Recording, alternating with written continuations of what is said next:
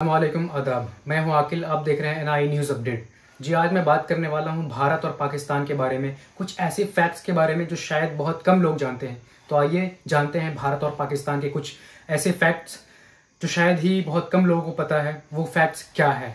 Number one कि भारत और पाकिस्तान के बीच बहुत पहले से मैच होने बंद हो गए हैं, जो कि नॉर्मल सीरीज़ होता है।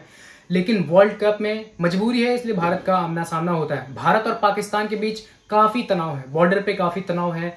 एक दूसरे से काफ़ी तनाव है न्यूज़ में काफ़ी तनाव है। हर जगह पे देखा जाए तो भारत और पाकिस्तान एक बड़ा मुद्दा एक बड़ा कंट्रोवर्सी पूरे वर्ल्ड में बना रहता है। लेकिन जब क्रिकेट मैच की बात आती है तो वो एक ऐसा लगता है जैसे कि भारत और पाकिस्तान का एक क्रिकेट मैच नहीं वो एक जंग स्टार्ट होने वाला है वो एक मैच नहीं वो एक जंग चल रहा है। जी हाँ मैं बात करने वाला हूँ कि हालाँकि देखा जाए तो भारत और पाकिस्तान के बीच जब मैच होती है तो दोनों तरफ़ की दोनों टीमों के प्लेयर्स वो आ, इंटेंशन के साथ मैच नहीं खेलते हैं मैच को सिर्फ़ एक मैच की तरफ़, तरह खेलते हैं और उस मैच में जीतना चाहते हैं सिर्फ़। हाँ थोड़ा सा भारत के सामने पाकिस्तान और टीमों के अकॉर्डिंग थोड़ा नर्वस दिखती है कि पाकिस्तान बहुत ज़्यादा लो फील करता है भारत के सामने, क्योंकि भारत के प्रशंसक पूरी दुनिया में सबसे ज़्यादा हैं तो प्रेशर बनता है सपोर्टर से। तो पाकिस्तान के सपोर्टर्स अकॉर्डिंग भारत के सपोर्टर के बहुत ही ज़्यादा कम है। तो ये एक है। और दूसरी चीज़ है कि भारत और पाकिस्तान के बीच नॉर्मल मैच तो अब नहीं होती, लेकिन हाँ वर्ल्ड कप में जब आमना सामना होता है तो ये वर्ल्ड कप के मैच में भारत पाकिस्तान से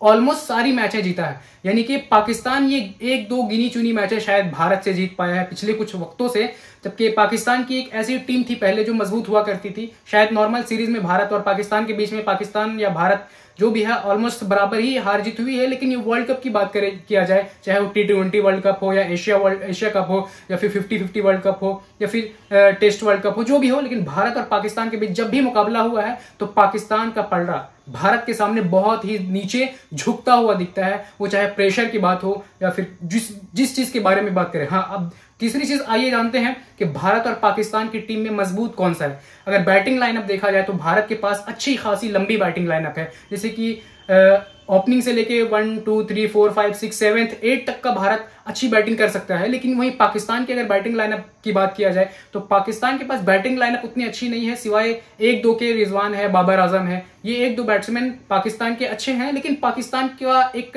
डिमेरिड एक सबसे बड़ा वीक पॉइंट है वो ये है कि पाकिस्तान की टीम में अगर कोई एक बंदा आउट होता है, दो बंदा आउट होता है तो पूरी टीम एकदम वन बाय वन जल्दी जल्दी आउट होना स्टार्ट हो जाती है। उसमें स्टे नहीं है सस्टेंसी नहीं है। लेकिन वहीं भारत की टीम में अगर देखा जाए तो फ़र्क नहीं पड़ता कि ओपनर चला गया वन डाउन चला गया सेकंड डाउन चला गया थर्ड डाउन चला गया, क्योंकि अच्छी बैटिंग लाइनअप है भारत की और सबके सब टिक के खेल सकते हैं अच्छा रन स्कोर कर सकते हैं, सबकी अच्छी स्ट्राइक राइट है।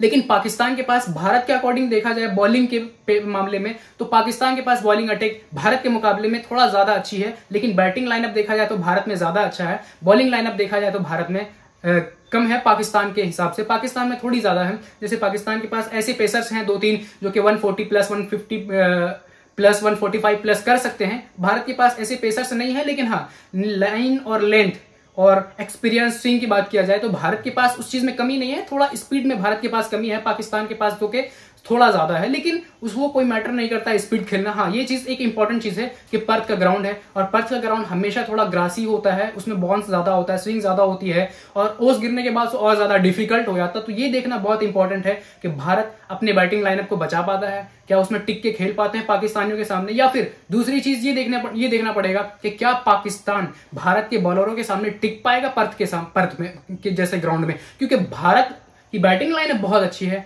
पाकिस्तान की बॉलिंग लाइनअप थोड़ी अच्छी है भारत से, लेकिन फील्डिंग की बात किया जाए तीसरी चीज़ तो ये फील्डिंग के मामले में तो भारत पाकिस्तान से बहुत ही ज़्यादा टॉप लेवल में है। कि पाकिस्तान कहीं अर्श पर है तो पाकिस्तान कहीं फर्श पर है तो भारत कहीं अर्श पर है फील्डिंग के मामले में, क्योंकि शुरू से ही लेकिन आज तक शुरू से लेकर आज तक पाकिस्तान का फील्डिंग का, का मुद्दा जो है फील्डिंग का जो पॉइंट है हमेशा से कंट्रोवर्सी में बना हुआ रहता है कि पाकिस्तान का इतना फील्डिंग पॉइंट क्यों है इतना फील्डिंग पॉइंट वीक क्यों है? क्योंकि पाकिस्तान के पास सच में फील्डिंग नहीं है उसके प्लेयर्स देखा जाए तो बस ऐसा लगता है कि इजी कैच लें और वो हाथ में आ जाए। लेकिन भारत के पाकिस्तान प्लेयर्स जो है वो फील्डिंग को एक रन बचाने के लिए बाउंड्री बचाने के लिए अपनी जान तक का झोंक देते हैं। जय हिंद जय भारत।